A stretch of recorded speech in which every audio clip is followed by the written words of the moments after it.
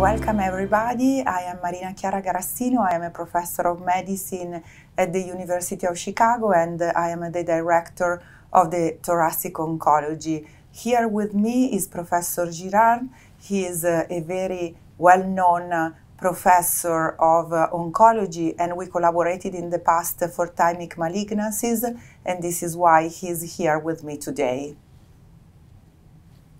Do you want to do an introduction? Sure. So um, I'm very obviously uh, happy to, to be here. Uh, we took the opportunity of the uh, ASCO meeting uh, uh, to, to discuss together about uh, thymic malignancies. These are rare tumors, um, obviously complex management because of the rarity of the disease and the need for multidisciplinary teams dedicated to treating the, the patients. Yes, and you are also the president of ITMIG, which is the International Association of uh, uh, Thymic Malignancies. Can you say something about uh, your association? Sure. So ITMIG is the International Thymic Malignancy Interest Group. This is an international society uh, created in 2010 with patients and physicians uh, dedicated to the management of, of, of this disease. Um, ITMIG is a common platform uh, to discuss uh, projects. Uh, we were able to participate uh, to the staging uh, revision of, of, of, thymic tumors, to discuss the histopathological classifications of, of the disease. We set up uh, some consensual definitions to, to report on these tumors. So a lot uh, has been achieved uh, so far. We have multiple committees discussing all the aspects of the management of the disease. That includes uh, uh the neurological aspects, the pathology, radiological aspects of, these, of this disease. The thymic malignancies are heterogeneous tumors, so there is a lot of complexity in, in the diagnosis and in defining the accurate strategy uh, uh, for, for treating the patients. We also have a database, uh, which is an international prospective database, which is a very important resource to further explore uh, uh, how the patients are, are, are, treated and what are the outcomes.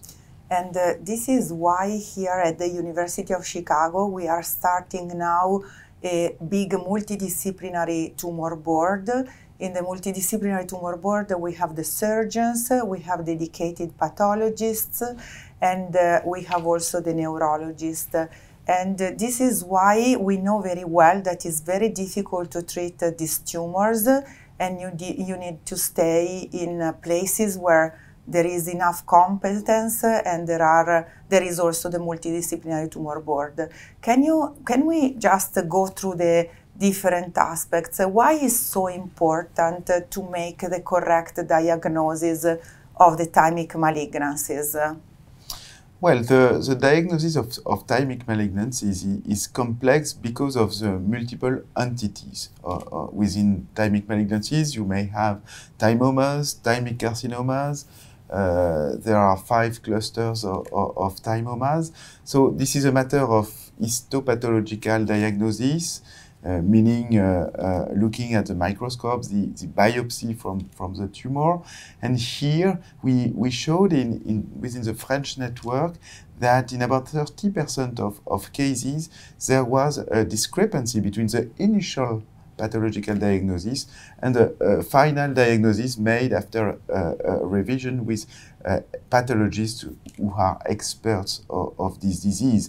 So it's very important to make an accurate diagnosis, and we know that similar to what we have in other rare cancers, such as sarcomas, uh, uh, histopathological review is a major step in making an accurate diagnosis for the patient. Yeah, we published exactly in Italy also the same data, and there is a 40% of discordance between the diagnosis made in an a center of excellence and diagnosis made in uh, uh, centers where they see less uh, uh thymic malignancies. And this is important because we know very well that the thymomas, for example, they have a different prognosis from the thymic carcinoma, and within the thymomas we have multiple differences again, and they have a potentially also different sensitivity to the chemotherapy and also uh, to the surgery. So I, I think that this is a major uh, problem, and I would suggest to all the patients who were diagnosed in centers where there is not this expertise to ask for a second look and a second opinion, at least for the pathology. Moving to another important aspect of um, this kind of tumors. So I believe that the importance of the surgery is crucial for the control of the disease. We saw that there are incredible differences in centers who treat patients uh, who treat commonly patients uh, with rare tumors uh, and uh, who uh, uh, are not so used to treat this kind of tumors. Can you comment something on that? Yes, surgery is the mainstay of the treatment of, of patients with thymic tumors, and achieving a complete resection of the tumor is the most important factor that drives the outcomes. And uh, whatever is the stage, whatever is the type of, of, of, of tumor, the, the main uh, objective is to obtain in resectable uh, uh tumors a complete resection. And uh, there are multiple ways to, to do surgery. In, in, some small tumors, it will be possible to uh, do robotic or minimally invasive, but in larger tumors, there will be a need for more important uh, uh, approach uh, to the tumor. But at the, at the end, what is important is to get a complete resection. And there is a need to have a, a good planification of the surgical uh, of the surgery in those patients. And it is then very important to have a good radiological assessment of, of, of these tumors. And this may include CT scans, MRI, before uh, uh, surgery is planned. Oh, yeah, this is really uh, important. And uh, um, I think that the majority of patients diagnosed, they are in very early stages. So sometimes uh, the resection for these patients is enough. But when uh, the patients, they have uh, a non-radical surgery, there are also other treatments that we can uh, ask or we can propose to the patients. It's very important to uh, consider systemic treatments that may include uh, uh, chemotherapy as well as targeted agents for the management of, of, of, patients with advanced disease or in the setting of, of recurrences. And here you have uh, some complexity again because of uh, the limited uh, number of studies available in the literature, uh, because of the molecular complexity of, uh, of thymomas and thymic carcinomas. I personally recommend to do comprehensive genomic profiling in the setting of recurrent tumors because in, in some patients we may identify some alterations that will drive uh, the use of targeted agents. Yes, and another question is uh, sometimes uh, these patients they have uh, autoimmune diseases that are often not recognized and they are important. The most important is clearly the myasthenia gravis, but there are many of them. So can you say something both on the myasthenia gravis and also of the other uh, autoimmune disorders? For sure. So myasthenia gravis is associated with thymomas in, in about 30% of, of patients. And uh, sometimes you have clinical signs, so it's easy to diagnose. But sometimes it's uh, only uh, a biological uh, uh, disease uh, without symptoms. And it's then very important to recognize these infraclinic myasthenias because at the time of surgery, the patient may develop symptoms. So it's very important to be prepared to that and to have a systematic assessment for myasthenia as well as other autoimmune disorders. In the setting of advanced disease, some patients may be considered for immunotherapy, immune checkpoint inhibitors. This is now part of clinical trials, but there are also uh, uh, some recommendation in refractory tumor to use uh, immune checkpoint inhibitors, especially for thymic carcinomas. And again, here it's very important to have uh, an accurate assessment for autoimmune disorders and a close monitoring of the patients. Yeah, this is why here at the University of Chicago we created an important collaboration also with Dr. Sullivan and uh, with the neurology team because this patient must be accurately followed also with the neurological part and also for the immunological part. So, uh, what uh, do you think? So, I, you know that very well that for rare disease, uh, to have uh, a new drugs is very difficult. Do you see something that is coming uh, in the space of the thymomas uh, uh, and that can be important, and also thymic carcinomas that is uh, promising for the future? Well, uh, we, we, see uh, many phase two studies with new agents. I believe that we need to have some, some strong rationale before moving to to clinical trials with targeted agents. And so this is why we, we need to, to have uh, uh, more patients who, who, benefit from comprehensive genomic uh, uh profiling in the setting of uh, advanced disease. There are some clinical trials ongoing in, in thymic uh, malignancies, some with new agents, some with combination of immune checkpoint inhibitors with chemotherapy.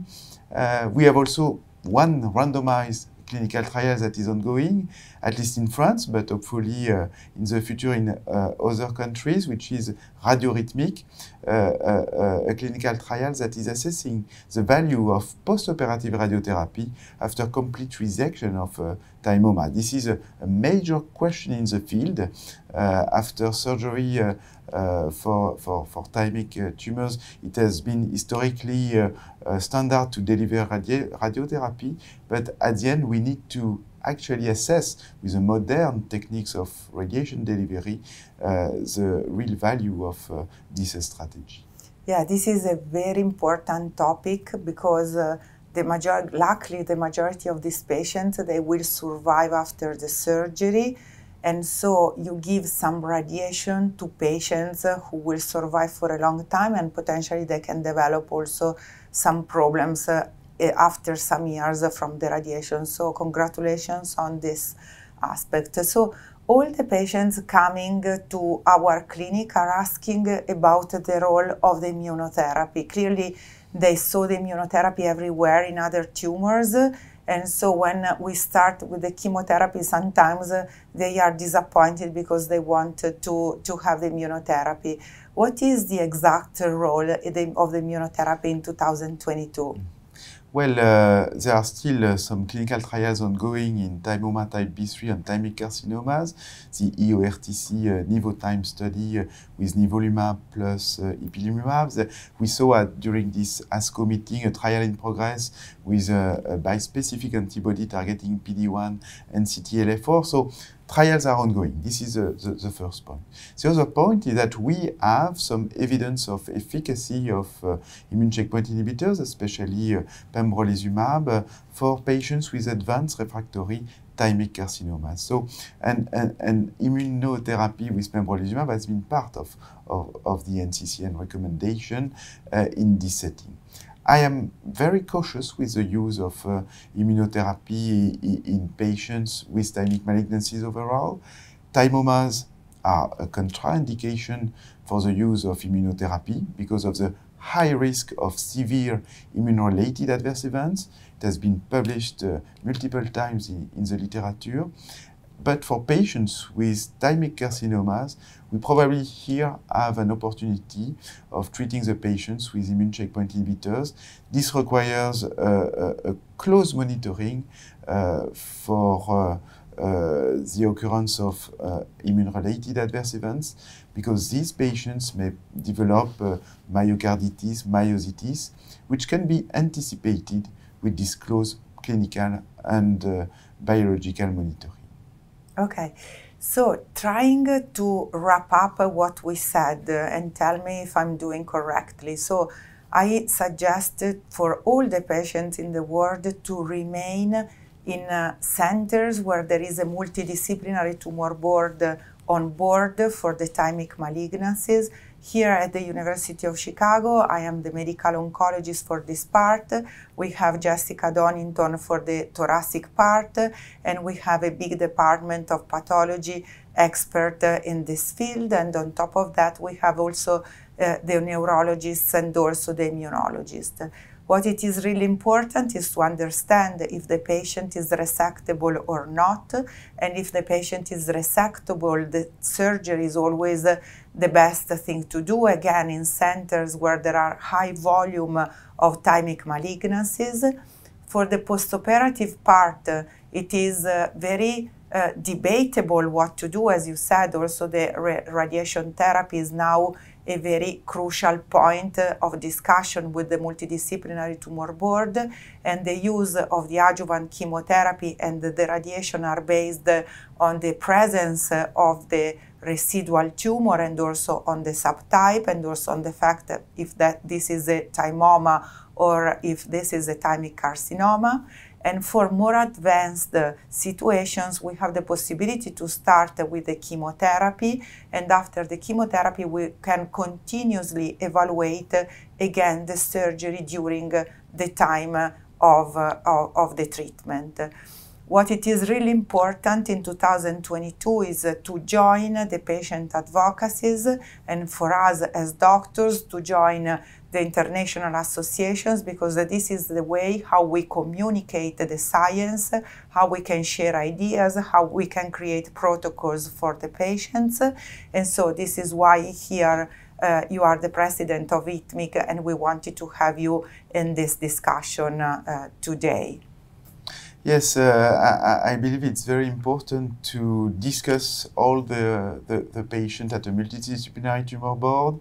There are also tumor boards that are organized uh, within ITMIG for complex cases. So very important to have this networking uh, of specialists uh, of thymic malignancies because uh, uh, in, in some complex uh, situation, it's very important to discuss between colleagues, having several surgeons, several medical oncologists, several radiation oncologists and pathologists discussing together uh, uh, uh, the, the, cases. So ITMIG is a common platform patients are involved uh, within ITMIG. There are multiple resources on uh, our website, so please visit, visit uh, itmig.org.